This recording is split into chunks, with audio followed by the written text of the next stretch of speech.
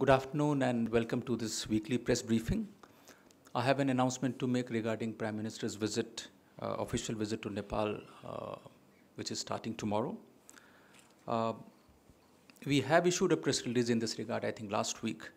Uh, he'll be on a state visit to Nepal from 11th and 12th uh, at the invitation of Prime Minister of Nepal, Right Honorable KP Sharma Oli. I thought I'll just go through the program elements, uh, especially for those who are planning to visit Nepal for this uh, for Prime Minister's visit. Uh, this will be PM's third visit to Nepal since 2014. He had earlier traveled to Nepal for a bilateral visit in August 2014 and for the SAARC summit in November 2014. Uh, Prime Minister will visit Kathmandu, Janakpur, and Muktinath. PM will be arriving in Janakpur on 11th May, which is tomorrow. We uh, propose to leave tomorrow morning, and uh, the first stop will be Janakpur. Uh, darshan at Janki Mandir will be followed by a civic reception, which will be hosted by the mayor of Janakpur at Barabiga ground. PM will then leave for Kathmandu in the afternoon of tomorrow. There will be a call by Foreign Minister of Nepal, which will be followed by a ceremonial reception at Tundi Khel ground. PM will also call on the President of Nepal, Bidya Devi Bhandari, and Vice President Nanda Bahadur Pun. This will be followed by bilateral talks between the two prime ministers.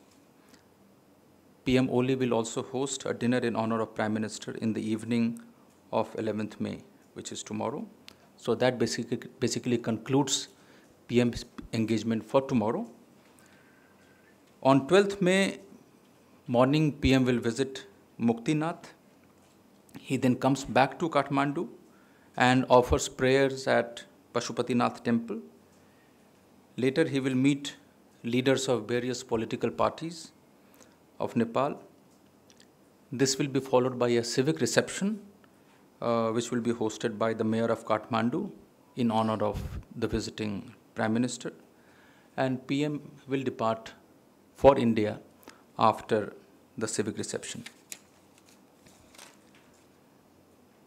During the visit, uh, the two prime ministers will jointly lay the foundation stone, which will be done remotely, of 900 megawatt Arun 3 hydropower project in Nepal, with an investment of 6,000 crore Indian rupees. Arun 3 is the largest hydropower project to be undertaken in Nepal. The project is being implemented by SJVNL India. So this is the announcement which I had. Now I open the floor to questions. Yes, please. Sir, uh, can you share any information regarding the Indians abducted in Afghanistan? We had issued a press release, if you remember, uh, not a press release, but it was my response uh, to queries. Uh, at this stage, I can share with you that uh, we are in touch with the Afghan authorities in this matter our external affairs minister as well as our national security advisor they had telephonic conversations with their counterparts and we have requested all possible assistance uh, from them uh, you would appreciate that this is a, a, sensitive matter the lives of seven indians are involved and uh, therefore i would not like to share much on where we are at this point of time uh, in a public forum any other query on? Yes, please. Smita? Uh, just a follow up because uh, there were reports yesterday that uh, the Baglan province had actually fallen to the Taliban in fresh uh, violence that has erupted there. Does this sort of add to the uh, worry? Have we been able to establish any contact? Is there any basic detail other than this that you you might want to share? And if you could share something on the External Affairs Minister's visit agenda to Myanmar, please. Hmm. Any other query on Afghanistan? Then I'll take all of them together. Yes, please. So when the NSA had uh, talked to his uh, Afghan counterpart on the issue, and uh, primarily, in fact, uh, what was conveyed to them?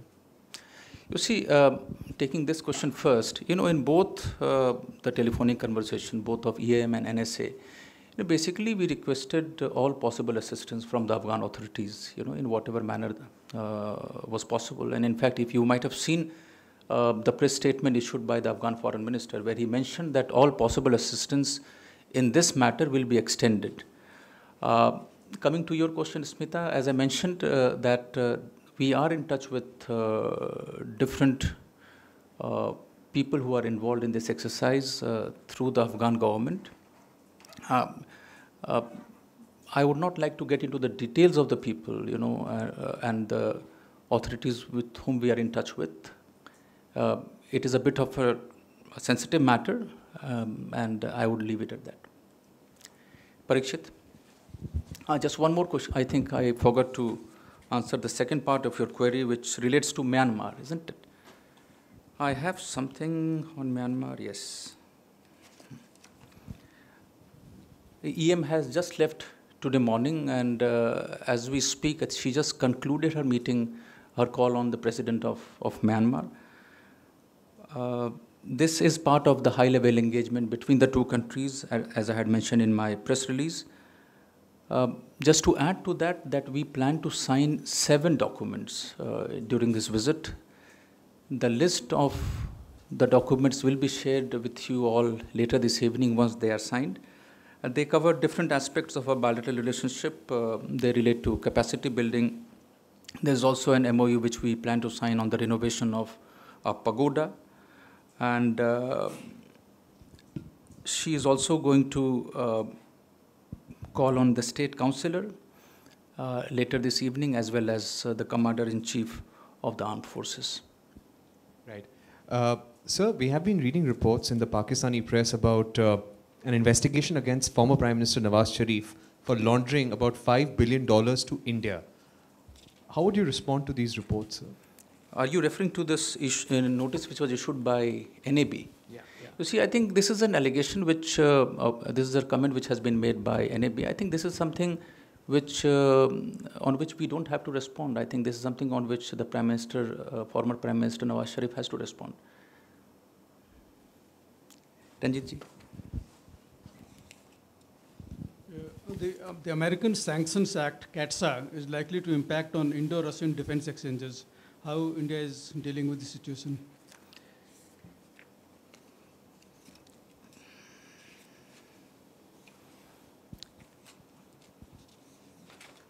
Yeah, you see, uh, there are several such uh, proposals and issues now which uh, have they have been announced uh, by the U.S. government. Uh, I can only tell you that there are existing forums uh, which exists between India and U.S. to address all such issues. Uh, there have been visits which have taken place. Uh, recently, the foreign secretary was in the U.S.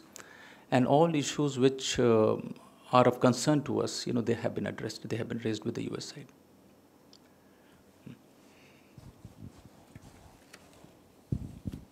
Uh, since the withdrawal of uh, you know this uh, new, from nuclear deal of Iran by Trump, what are our apprehensions and are there going to be any talks or are, is India in touch with Iranian at a, at, at a high level on these particular matters? Because earlier when the sanctions were there, India was asked to reduce the oil supplies from Iran or imports from Iran. What are applica- apprehensions you have? Uh, related uh, to this one, Would it impact our uh, collaboration in the Chabahar port, if any? Uh, Could you give some details on that? okay.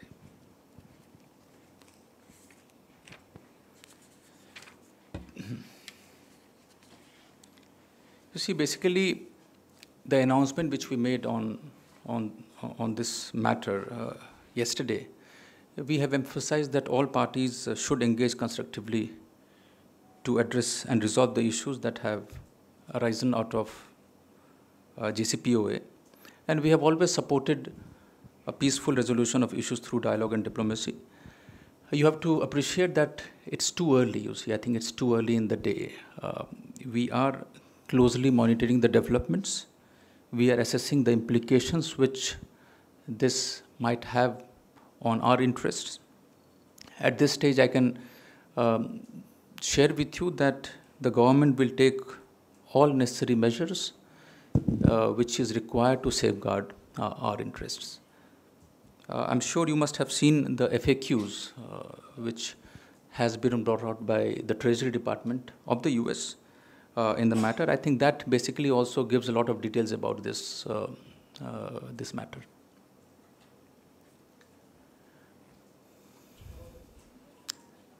The, uh, the response to Chabahar is the same. You know, uh, we will uh, take measures, necessary measures, which are required to safeguard our interest.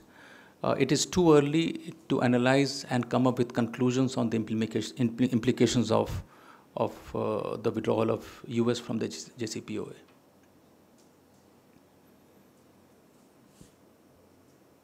Thank you very much. If there are no other questions, then I conclude this weekly briefing. Thank you all for joining.